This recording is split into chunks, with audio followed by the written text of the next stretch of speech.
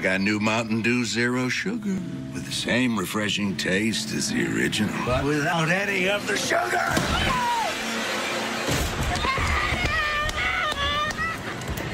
Here's Mountain Dew Zero.